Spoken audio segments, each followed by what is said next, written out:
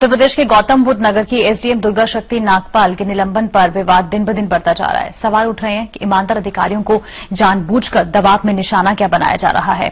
कल हाईकोर्ट ने भी इसी मामले से जुड़े अवैध खनन और उस पर हुई कार्रवाई की जानकारी मांगी है।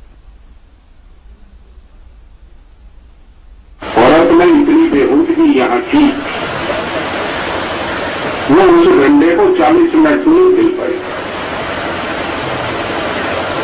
साढ़े दस और ग्यारह के ग्यारह मिनट इकतालीस मिनट में सस्पेंशन का ऑर्डर छपके लखनऊ से निर्णय होकर छपके यहाँ तमिल हो गया कलेक्टर के यहाँ। उसको पता चल गई ग्यारह बज के ग्यारह मिनट पे तो सस्पेंड हो चुकी। जी हाँ आईएएस अधिकारी और गौतम बुद्ध नगर की एसडीएम दुर्गा शक्ति नागपाल के निलंबन की असली वजह यही थी। और ये बयान ही आज हमारे सिस्टम की अगली हकीकत भी है। दरअसल दुर्गा नागपाल ने जिस तरह से यमुना और हिंडन नदी में हो रहे अवैध खनन पर लगाम लगाकर अवैध खनन माफिया पर नकेल कसी थी, वो अवैध खनन माफिया और उनके सरपरस्तों को मंजूर नहीं था। एक अंग्रेज़ी अखबार के मुताबिक अवैध खनन से सबसे बड़ा नुकसान नरेंद्र भाटी की करीबी ओमेंद्र खारी को हो रहा था और उनके कई वाहन दुर्गा नागपाल ने जब्त करवाकर एफआईआर दर्ज करा दी थी। इसी से नाराज़ नरेंद्र भाटी ने अपने रसूख का इस्तेमाल किया। हालाँकि भाटी इन आरोपों से इनकार कर रहे हैं। ने कोई नहीं कहा कि हमने कराया। हमने कोई में शब्द का प्रयोग नहीं किया। हमने केवल ये कहा कि जब यहाँ माहौल बिगड़ता हुआ हमने देखा तो हमने शासन को सूचना दी और शासन ने उसकी जाँच कराई और संज्ञान लिया। इस सिस्टम की एक और बानगी ये है कि जिस दीवार को गिराने के नाम पर दुर्गा नागपाल को सस्पेंड किया गया, डीएम की रिपोर्ट के मुताबिक वो आदेश दुर्गा नागपाल ने दिया ही नहीं था। लेकिन सवाल साख का बन गया है।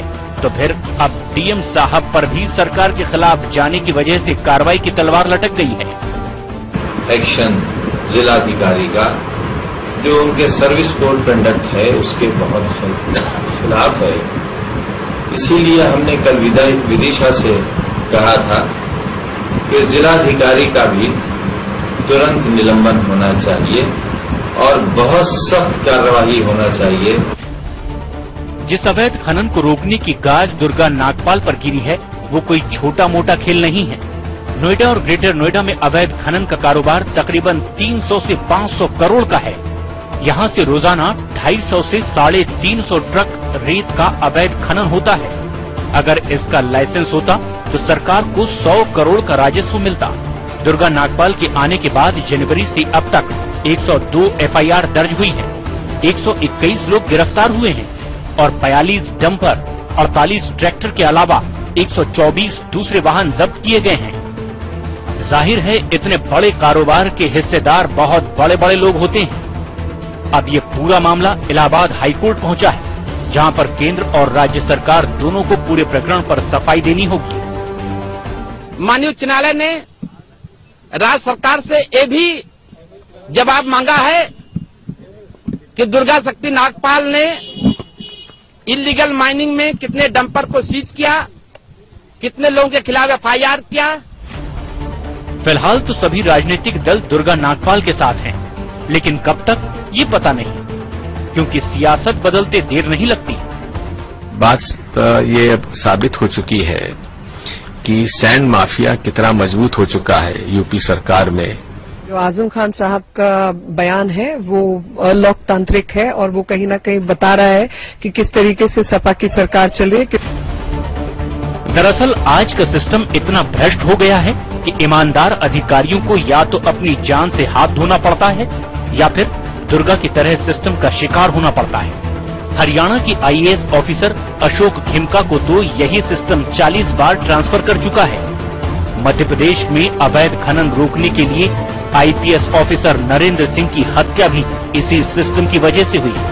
ये घटनाएँ और उस पर सरकारों और राजनीतिक दलों के गैर जिम्मेदाराना बयान ये बताने के लिए काफ़ी हैं कि ये सिस्टम उनकी ही मर्ज़ी से चलेगा। फिर चाहे वो गलत हो या सही अगर सुप्रीम कोर्ट और सूचना आयोग जैसे महकमों ने हिमाकत की तो वो पूरा संविधान ही बदल डालेंगे। समय के लिए ब्यूरो रिपोर्ट।